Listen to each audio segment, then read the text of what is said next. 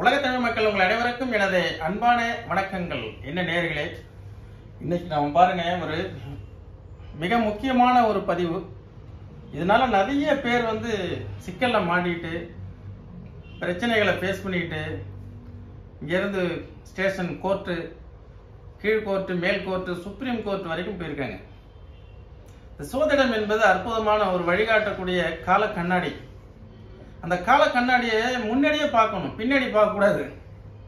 முன்னாடியே பார்த்துட்டு நான் எதெல்லாம் செய்யலாம் எதெல்லாம் செய்யக்கூடாது. நான் தான் ஒவ்வொன்றா பாருங்கள் இந்த போர்டை எடுத்து போட்டதுலேருந்து இன்னைக்கு வரைக்கும் ஓய்வு இல்லாமல் பார்த்துட்டு இருக்கேன். நீங்கள் பார்த்துக்கிட்டு இருக்கிறீங்க ஓய்வு இல்லாமல் நான் பேசிக்கிட்டு இருக்கேன். இந்த ஃபைனான்ஸ் யாரெல்லாம் செய்யக்கூடாது? ஃபைனான்ஸ் தொழில் வந்துங்க ஒரு சிலர் என்ன செய்வாங்க ரிட்டையர்மெண்ட் ஆகிடுவாங்க ஐம்பத்தெட்டு வயசு வரைக்கும் வேலை பார்த்துட்டு அதுக்கப்புறம் வந்து ஒரு கார்ப்பரேட் கம்பெனி ஒரு பெரிய லெவலில் கம்பெனி இருக்கும். அந்த கம்பெனியில் இவங்க பிஎஃப் எல்லாம் அவர் கொண்டு போய் கொடுத்துருவாங்க. அவர் மாதம் மாதம் வட்டி கொடுத்துருவாரு.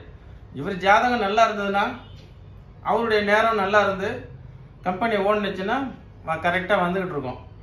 இல்லாட்டி போனால் ஒரு வ- வழியே இல்லை. அவரே முடிஞ்சு போயிருப்பார். அல்லது அவர் ஐபி கொடுத்துட்டு போயிடுவார். இவர் அவர்கிட்ட வந்து நாற்பது லட்ச ரூபா கொடுத்துருப்பாரு. மாதம் ஒரு நாற்பதாயிரம் வந்துட்டு இருந்திருக்கும். திடீர்னு ஆள் இல்லை. இப்படியெல்லாம் நிறைய சம்பவங்கள் ஜோதிடம் பார்க்கும்போது கேள்விப்படுறோம் பார்க்குறோம்ல. இப்போ நான் என்ன முடிவு பண்ணேன்? இதை நம்மளால் ஒன்றும் செய்ய முடியாது. சார் நான் கொடுத்த பணம் எப்போ வரும்? திரும்பி வருமா? வராதா? அப்படின்னா இந்த ஜோதிட சாஸ்திரத்தில் கொடுக்கலாமா வேண்டாமான்னு தான் சொல்ல தெரியும். கொடுத்தது வருமா வராதான்னா திசாபுத்தி தான் தீர்மானிக்கும். அந்த நல்ல திசாபுத்தி நடந்ததுன்னா திரும்பி வந்துடும் இல்லைன்னா வராது. இது அந்த ஜோசியக்காரர் போய் வாங்கி கொடுக்க முடியாது. சரிங்களா? ஆக நான் என்ன சொல்றேன்? என்னை பொறுத்த வரைக்கும் இளைய தலைமுறைகள் வருங்காலத்தில் இருக்கக்கூடியவர்கள் இதை தெரிந்து கொள்ளுங்கள். இதுதான். ஜோதிடத்தில் நம்பிக்கை இருக்கு இல்லையா? அதெல்லாம் எனக்கு தேவையில்லைங்க வருங்காலத்தில் உள்ளவன் நீங்க நண்பருக்கு பணம் கொடுக்கலாமா? கொடுக்க வேண்டாமா? பணம் கொடுத்தா வருமா? வராத? கொடுத்தா பெனிஃபிட்டா லாஸா இதை மட்டும் சொல்றேன். நீங்க ஏதாவது ஒரு லக்கணமா இருங்க. தனுசு லக்கணம். உதாரணத்துக்கு இப்போதைக்கு ஒரு பேரை ரொம்ப ஈஸியா புரிய வைக்கிறேன். சரிங்களா? யாரெல்லாம் ஃபைனான்ஸ் பண்ணக்கூடாது? ரெண்டாம் இடங்கிறது ஃபைனான்ஸ் ரெண்டாம் இடம் தான் பணம். ரெண்டாம் இடம் தான் வந்து உங்களுக்கு கொடுக்கல் வாங்கல் வாக்குறுதி. ஒருத்தர் கேட்குறாரு சாரி பணம் எவ்வளோ வச்சுருக்கீங்கன்னு கேட்பார் ஒருத்தர். இவரை பார்த்து எவ்வளோ வச்சுருப்பீங்களா? அவனுக்கு என்ன வே எவ்வளோ வேணும்னு கேளியா? அப்படின்லாம் சொல்கிறோம்ல அது ரெண்டாம் இடம். இந்த ரெண்டாம் இடம் தான் கொடுக்கும். இந்த ரெண்டாம் பாவாதிபதி வந்து இப்போ சனி இருக்கார் இல்லைங்களா? இவர் வந்து இந்த இடத்துல இருக்கிறார். இந்த சந்திரன் இருக்காருல அவர் இங்க இருக்கிறார். இப்படி கூட எடுத்துக்கலாம். தனுசு லக்கணம் மகர ராசிங்க சார். எனக்கு சனி எட்டுல இருக்கு. இப்ப சொன்னா நிறைய ஆடியன்ஸுக்கு புரியும். எனக்கு இந்த ச- நான் வந்து ஒரு நட்சத்திரம் அதாவது உத்திராடம் அல்லது பாருங்க திருவோணம் அவிட்டம் ஏதோ ஒண்ணு. இந்த இடத்துல பாத்தீங்கன்னா அந்த ஆஹ், உத்திராட நட்சத்திரம் சூரிய ச- திசை நடந்துட்டு இருக்கு. ராகு இங்க இருக்கு. கேது இங்க இருக்கு இப்ப இவர் ஃபைனான்ஸ் பண்ணியிருக்காரு இந்த பணம் திரும்பி வராது. இப்படி வர மாதிரி இருந்தா கோர்ட்டு கேஸ் வம்பு வழக்குன்னு போகும். இவருடைய லக்னம் சுத்தமா இருக்குது. லக்னாதிபதி பத்திலாம் நம்ம பேசவே இல்லை. இந்த ரெண்டாம் இடம் மட்டும்தான். சந்திரன் கெட்டு போச்சு. எப்படி கெட்டு கெடும்னா கேதுவோட சேர்ந்தால் கெட்டு போகும். உடல் திரேகம் மனம் புத்தி எல்லாம் கெட்டு போயிடும். அப்ப இந்த ரெண்டும் எட்டும் பரிவர்த்தனை. இதான் அந்த பரிவர்த்தனையை பத்தி பாருங்க அப்படின்னு நான் ஒரு வீடியோ போட்டிருந்தேன். தெரியல பாவம். நாலு பார்ட் போட்டிருந்தேன். வெறும் ஆயிரம் எட்நூத்தம்பது ஆயிரத்தி இரநூத்தம்பது தான் பார்த்துருக்காங்க. பரிவர்த்தனை யோகத்துல ஒரு அஞ்சு பார்ட் இருக்கும்ல. நாலு வந்து ரீசெண்டா போட்டது. ரெண்டு எட்டு பரிவர்த்தனை ஃபைனான்ஸ் செய்யக்கூடாது. சரிங்களா? இது மாதிரி பண்ணீங்கன்னா உங்களுக்கு கண்டிப்பாக அது கோர்ட்டு கேஸ் வம்பு வழக்குன்னு போயிடும். ஃபைனான்ஸ் தொழிலா செய்யறவங்களா இருந்தாலும் சரி யாராவது நண்பர்கள் கைமாத்து கொடுத்தாலும் சரி யாருக்காவது ஜாமீன் கையெழுத்து போட்டாலும் சரி ஒரு வண்டியை இரவல் கொடுத்தாலும் சரி அதே மாதிரி வந்துட்டு நீங்க யாராவது ஒருத்தவங்களை போய் ரெக்கமெண்டேஷன் பண்ணாலும் சரி இவர் தாங்க நமக்கு வேண்டியவர் தான் இது எதுவுமே உங்களுக்கு தேவையில்லை. இந்த லக்கணமாகி இந்த ரெண்டு எட்டுக்கும் ரெண்டு எட்டுக்குடைய ரெண்டுல வந்துச்சுன்னா முடிஞ்சு போச்சு. இவங்கெல்லாம் இது மாதிரி நீங்க என்ன செய்யலாம்? உதாரணத்துக்கு எல்லா லக்கணத்தையும் நீங்க எடுத்துக்கலாம். தெரியாதவங்களுக்கு நம்ம போட்டு காட்டுறேன். இப்போ மகர லக்கணமாக வச்சுங்களேன் இங்க அந்த சனி இங்கே போயிடுவாரு சந்திரன் இங்கே இருப்பார். மகர லக்கணம் கும்ப ராசி அந்த ரெண்டு குடையவன் எட்டில். ராகு கேது சேர்க்கை அல்லது சும்மா பிளாங்கா இருக்கு. இவங்களும் ஃபைனான்ஸுக்கு ஆகாது. கொடுத்தீங்கன்னா திருப்பி வராது. வாங்க முடியாது. சிரமப்படுவீங்க. அதுக்கு அடுத்தது பாருங்க கும்ப லக்கணம். உதாரணத்துக்கு கும்ப லக்கணம். இதுல ராசி தொடர்புல வர்றதுனால எல்லாத்துக்கும் போட்டு காட்டுறேன். அப்போ உங்களுக்கு இன்ட்ரெஸ்டிங்கா நீங்க பார்க்கலாம். கும்ப லக்னத்துக்கு வந்து ரெண்டாம் பாவாதிபதி. குரு இங்க இருப்பார். இந்த புதன் இங்க இருப்பார். இந்த இடத்துல ராசி தொடர்பு இல்லை ஆனா ரெண்டு எட்டும் பரிவர்த்தனை. இந்த கும்ப லக்னக்காரரும் இந்த மாதிரி ரெண்டு எட்டு கூடியவன் பரிவர்த்தனையாகி இருக்கிறதுனால பணம் கொடுத்தீங்கனாலும் அவ்வளோ சீக்கிரம் வாங்க முடியாது. சொல்லிகிட்டே இருப்பாங்க இன்னைக்கு வா நாளைக்கு தரம்பாங்க கொடுக்க மாட்டாங்க. இப்போ மீன லக்கணம். இந்த இடத்த வந்து மீன லக்கணம் ஆயிடுச்சுன்னு வைங்களேன். இந்த ரெண்டு கூடையவன் செவ்வாய் கரெக்டாக இங்கே இருக்கும். இந்த செவ்வாய்க்கு இந்த வீட்டுக்கு அதிபதி சுக்கரன் இங்கே இருக்கும். இவரும் என்ன செஞ்சிடறாருன்னு கேட்டிங்கன்னா ஃபைனான்ஸ் பண்ணி சிக்கலில் மாட்டுறாரு. இவரெல்லாம் ஃபைனான்ஸ் பண்ணவே கூடாது. ஃபைனான்ஸ் அப்படி ஒரு வேலை பண்ணுற மாதிரி இருந்தால் சில ரூல்ஸ் அண்ட் ரெகுலேஷன்ஸ் இருக்கு. அதை ஃபாலோ பண்ணுங்க. எவிடன்ஸ் அதே மாதிரி நிறைய நீங்கள் சொத்துக்களை வாங்கிட்டு பத்திரத்தை வாங்கிட்டு நகைகளை வாங்கிட்டு கொடுங்க. வேண்டான்னு சொல்ல ஆனால் என்றைக்கா இருந்தாலும் அந்த இது வந்து வழக்கில் தான் போய் முடியும். அல்லது வம்பு வழக்குகள் பிரச்சனைகள் அந்த அந்த ரெண்டு எட்டும் பரிவர்த்தனை எப்போதுமே ஆகாதுங்க. அடுத்தது பாருங்க இந்த மேச லக்கணம். இந்த மேச லக்கணத்துக்கு என்ன வந்து அந்த வேக வேகமாக செயல்படுறது. அவசரம். இந்த லக்கணத்தில் உள்ளவங்க. இந்த ரெண்டு கூடையவன் சுக்கரன் இந்த இடத்துல இருக்கும். இந்த செவ்வாய் இங்க இருக்கும்.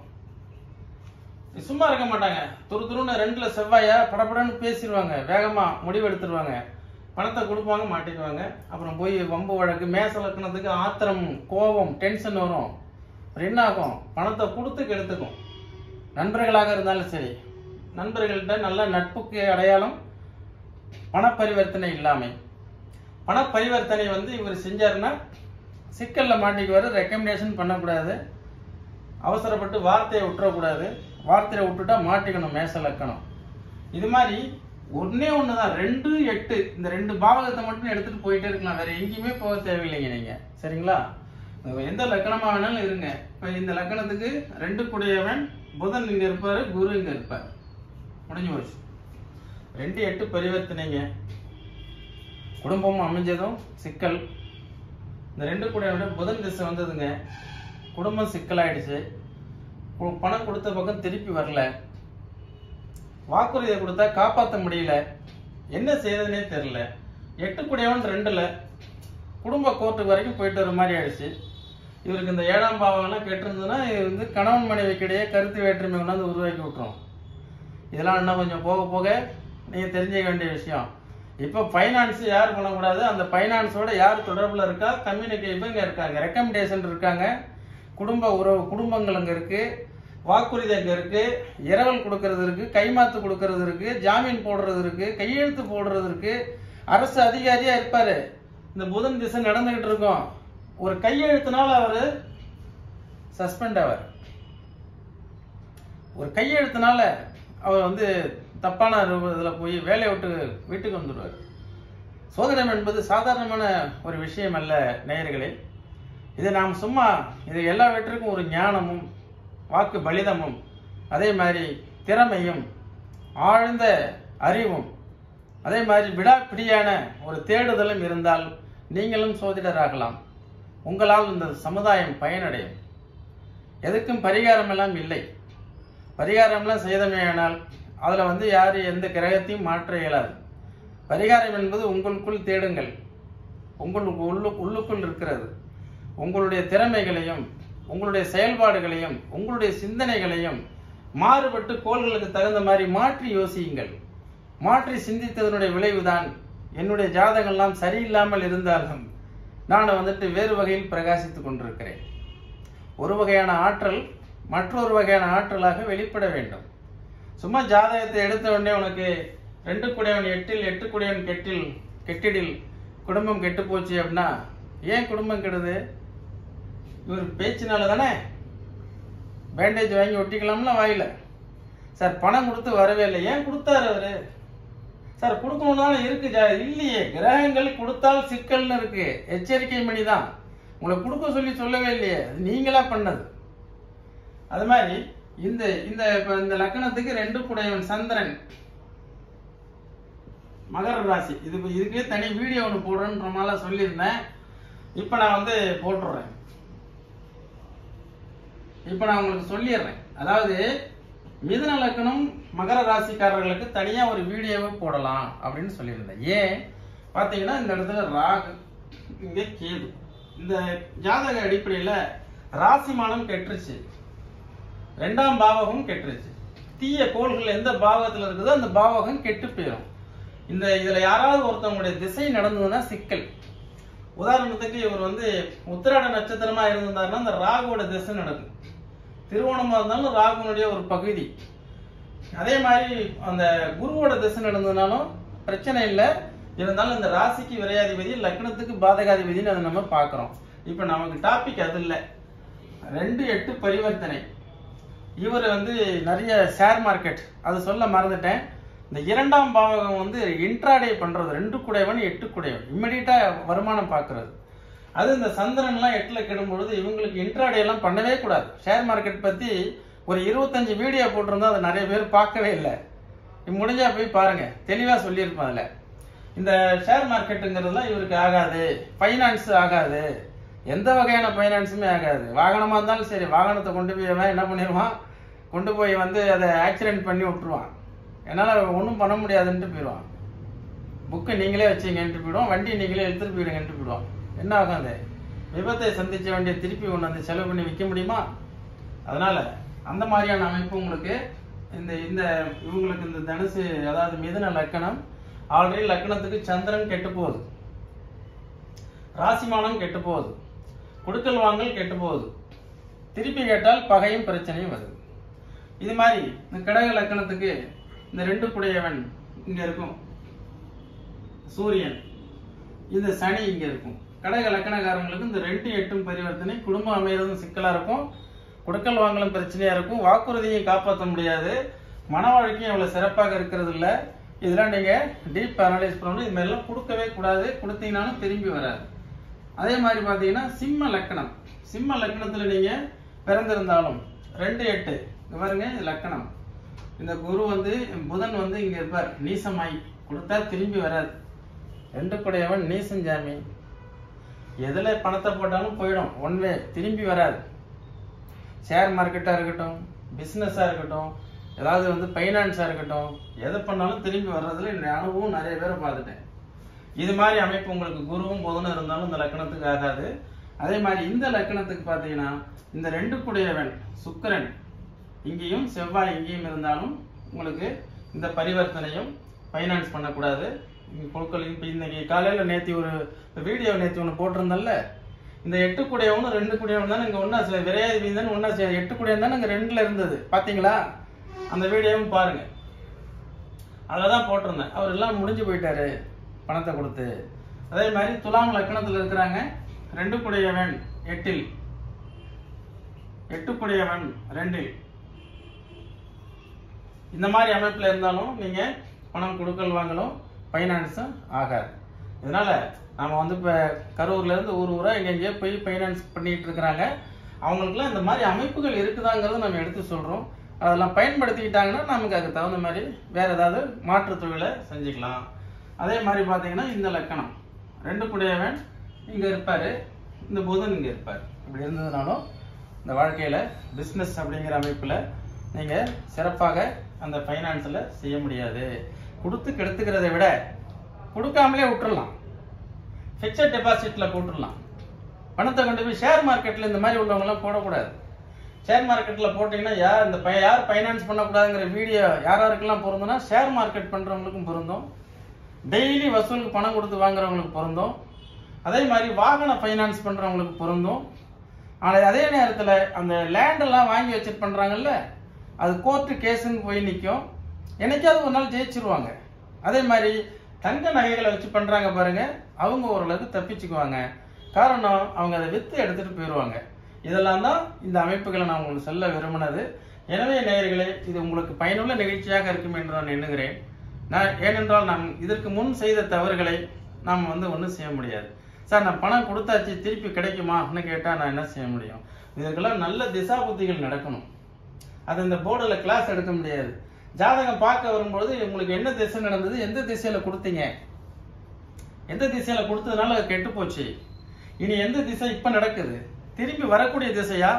அல்லது வேறு ஒரு ரூபத்தில் நீங்கள் தொழில் செய்து சம்பாதிச்சு இதை ரெக்கவர் பண்ணக்கூடிய அமைப்பா?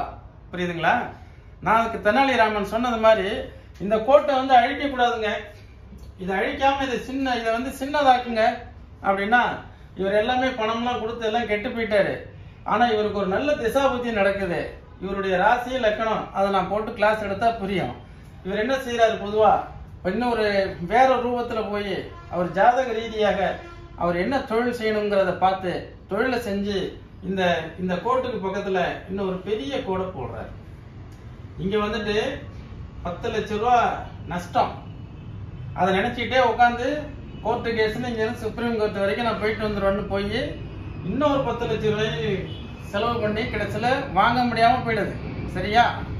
நான் என்ன சொல்றேன்? இதுக்கு ரெமிடி என்ன? பரிகாரம்.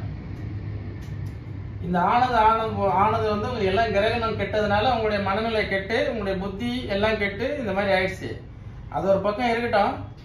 மற்றபடி உங்கள் ஜாதக ரீதியாக நான் என்ன செய்வேன்? என்னுடைய ஸ்டைலு தான். மாற்றுப்பாதையை தேர்ந்தெடுத்து கொடுத்து அதில் ஒரு இன்வெஸ்ட்மெண்ட் பண்ணுறதோ அல்லது கமிஷனோ அல்லது வேலை பார்க்குறதோ சொத்தை விற்று கடன் அடைக்கிறதோ வேறு வகையான மாற்றுத் தொழிலோ செஞ்சு இது மாதிரி இந்த இடத்துல ஒரு நாற்பது லட்சத்தை சம்பாதிக்குங்கள் அதுதான் உங்களுடைய பரிகாரம். எனவே நேர்களே இது போன்ற வீடியோக்கள் உங்களுக்கு பிடித்திருந்தால் ஷேர் பண்ணுங்க. அதே மாதிரி மேலான கருத்துக்களை எழுதுங்க. அதுக்கு அடுத்தது பார்த்தீங்கன்னாக்கா சப்ஸ்கிரைப் பண்ணாதவங்க பண்ணுங்க. எனவே நேர்களே என்றும் உங்களுடைய சோதிட ஆசானாகவும் வாழ்வியல் ஆலோசகராகவும் இருப்பேன் என்று கூறி இன்னொரு நிகழ்ச்சி நான் உங்களை மீண்டும் சந்திக்கிறேன். நன்றி வணக்கம்.